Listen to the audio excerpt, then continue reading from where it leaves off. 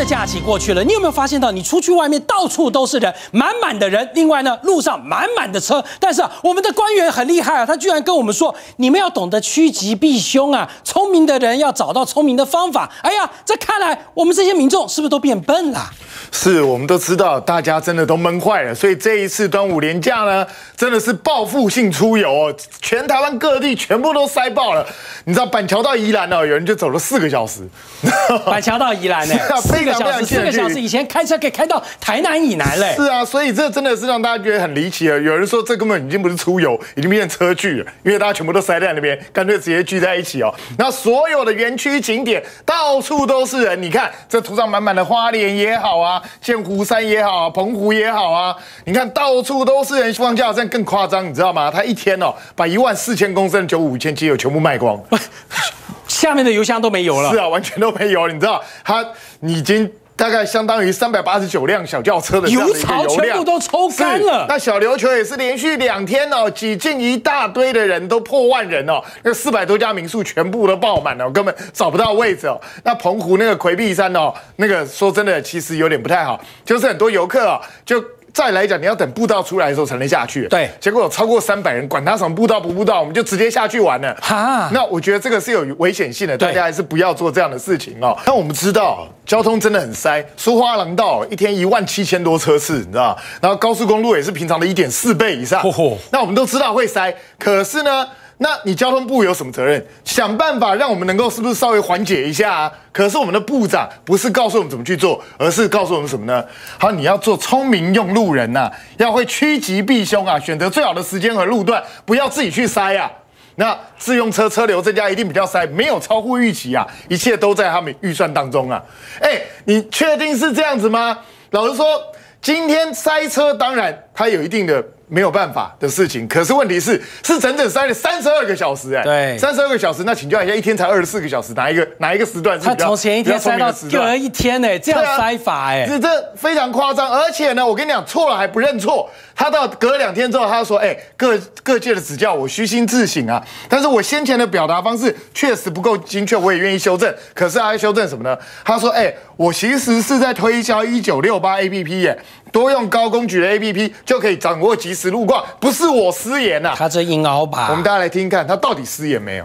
那不要在啊尖峰时间，好在特定的路段啊自己要去塞，做一个聪明的用路人，那能够呃趋吉避凶。那个脉络是我在推销一九六八 App 啦，就是说哎，如果呃多用我们的呃高工局的一九六八 App，还有啊我们公路总局的幸福公路的 App。那就可以掌握即时路况。一开始比较塞，后来啊收价的时候不塞了，好，大家觉得说，哎，有点神奇哈。老讲他有没有失言，大家自己自己去判断，我也不讲。有的人认为有，有的人认为没有。但是呢，就会让我们觉得说，啊，我们选一个交通部长出来，不是让你去跟我们讲风凉话，你要告诉我们怎么办呢？帮我们解决问题才对。所以呢，网络上已经开始掀起了什么？你知道，向嘉龙道歉运动会。为什么？因为。蔡英文总统上次不就是讲吗？我们台中人欠林佳龙一个道歉呢。嗯，现在全国都欠他了。为什么？因为哦，你看大家变成把它弄成马路塞车。你看他，对不起林部长，我不该住宜兰呐，星期三去台北办公，我回家花四个小时，是我该死，我不聪明啊。对不起林部长，大家连假都应该待在家里，不应该出门呐。哎，你不是叫我们出门消费玩乐促进经济吗？是啊。那问题你叫我出门，现在塞车怪我。这个理由实在说不通。是我们都是笨蛋，只有你聪明，是这样的意思吗？所以有网友说：“哎，你何不食肉糜啊？难怪会输掉台中啊！因为高工局本来说，哎，这个一切车流是超乎我们想象预期。可是呢，后来大概觉得直接打脸部长不太好，所以晚上又紧急发声明说：啊，没有，到下午已经舒缓了，一切都符合预期，然后已经到了时速六十公里，OK 的。那这样到底在干嘛？然后甚至连同党的王世坚都讲：哎，我们。”民众休假而血汗钱出游啊，那你政府不应该说风凉话。所以交通部长今天又说了，又说，哎，最好是大家搭轮船就不会塞车。我也知道搭轮船不会塞车，但 搭轮船能够去哪里呀？但是呢，我我必须说，我们政府讲干话的也不只是林佳龙一个人，因为今天又有一个三振兴三倍券的宣导，宣导了什么呢？就是这个到底要如何使用。可是问题还是回到原点嘛，因为就是有人不会用网络嘛，嗯，所以他我不会用网络了，变成怎么样？我还是要我预购的时候，我先跑去便利店啊这些地方先去预购一次，然后到零的时候我再去一次，你至少要去两次，不就是这样吗？因为不是每个人都会用电脑嘛，所以我觉得你们老是这样讲这些东西，到底有没有办法真正帮帮民众解决这个问题呢？然后王美花跳出来讲说，哎。我不禁厂商找零，但禁止民众用现金向他人收购。也就是说，之前有网络上讲的很多收购这些东西都是违法的哦。然后呢，我们的副院长，哎，现在已经荣升了，从经济部长荣升的副院长，之前不是告诉我们说，哎，一千变三千，三千之后变成四六八七，对不对？现在提都不提了，没这件事，不吭声了，就当做没这件事发生，是这样子吗？然后呢，现在还要雷厉风行哦，说，哎，经济部中长企业处长何进昌就说啊。如果有检举的，你就直接去收购这个三倍券的话，我们要开罚的哦，你不可以随便买哦。所以我觉得你政府一定要把它东西搞这么复杂吗？而且现在来了五十八家电商是白名单，你就只有这五十八家才可以用，嗯，其他都不能用哦。你知道这是非常麻烦，因为你要知道很多厂商，我不是只有实体贩售，我网络上也有贩售，可是这边会产生一个奇景，你知道我去实实体买可以，可是我在网络上跟他买不行，嗯，同一家厂商。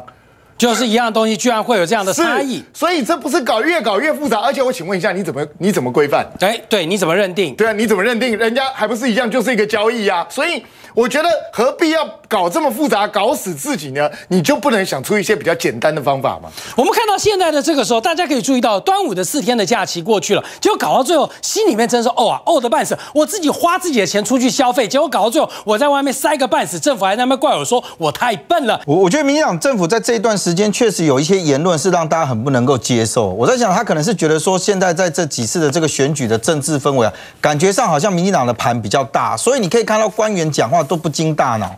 你光看林佳龙的那个说法，他说要做趋要趋吉避凶啊。我只问一件事，我在想哦，林部长，你可能没有自己开车去过宜兰，你没有自己开车走过国五啊？为什么？你如果常常走国五，或你住宜兰，或要往花东去，你就会知道，如果你走国道五号，一般正常来讲，从台北这边到宜兰差不多是一个小时。嗯，你如果不走的话，你就走北宜。从北宜的话，从新店那个地方上去到宜兰哦，差不多如果不塞车的话，一个半小时到两个小时能到。如果你这两条路都不走，你只有第三条路叫做走滨海，滨海差不多要两个半小时到三个小时左右。请问第四条路在哪里？没有第四条，没有第四条了，除非你坐铁路嘛啊！问题是铁路你要买得到票嘛？所以，当今天一开始的时候，你想想看，在端午假假期之前就一直在讲说，现在有报复性的出游，报复性的出游，你都已经知道说，很因为大家没办法出国，所以一定会造成它爆满。甚至你林佳龙，你们你们交通部可以掌握的东西太多，因为观光就在你的手上嘛。是，你可以掌握各地的住房率嘛。大家都在讲说，哇，那个什么饭店什么什么都爆掉了，大家都订订房订不到或什么，你就可以预测到说，它其实应该会有一个比较大的车流量。好。你知道高工局他们原先预估的车流量是说，他认为说在廉价的时候跟平日差多少差一点九倍。但是你可以看得到，他对于这个所谓增加，第一个他预测就是失准，因为他爆出了一点九倍，比那个还多。这第一个，第二个，他的高承载管制完全没有调整，也就他还是用他最传统的那个方式，就是我晚上十二点到凌晨五点的时候我不收费，然后我七点的时候到这个五点到中午十二点的时候我就进行所谓的高承载。什么叫做高承载？他就告诉你说三个人以以以下哦，你不可以上去，三个以下，这叫做你传统的方法。